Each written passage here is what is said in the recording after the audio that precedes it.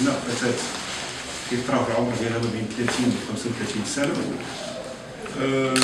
داخل واحد قفة قفة كبيرة الحجم و وآثار ديال العنف ظاهرة على الوجه ديالها ومقدمة الرأس ديالها ومنتفخة الشيء اللي بين لنا خلال البحث الأولي أنها تعود تقريبا واحد 24 ساعة للقتل النتائج ديال البصمات كتبين أن هاد الهالكة آه، من ساكن من قاطنه الحي محمد يعني السبع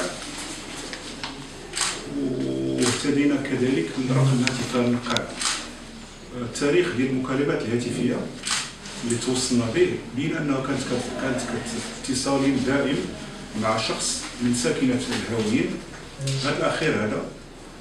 بعد إيقاف ديالو تبين أنه عنده علاقة حميمية مع الهالكه الثالث اللي كان كيرتديها اللي حلناها بدورها على المختبر العلمي ديال الشرطة الشرطة الشرطة العلمية.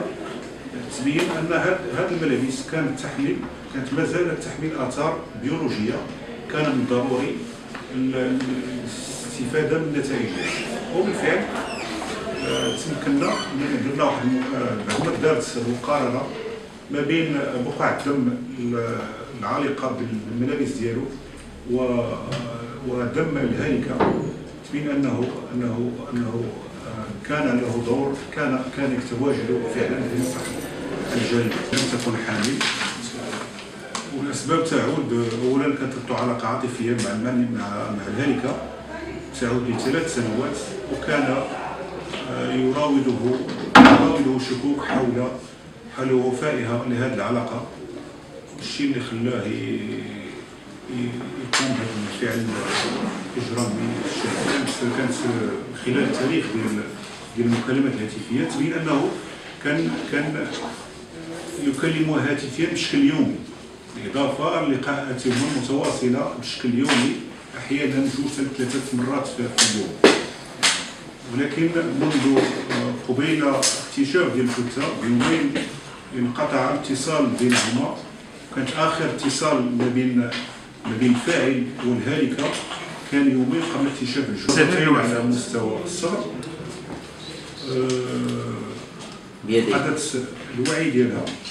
وبعد ذلك أخذ حبلا وشنقه سيبي بالله. سيبي بالله.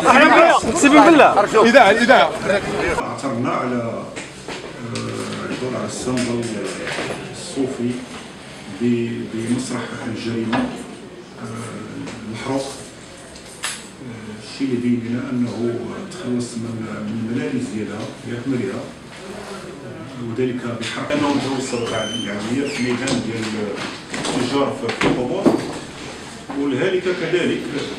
تبين أنه كانت لها سابقة في غامضه عمدا في سنة 2005 قضت بموجبها سنة نافذة وراء القطوة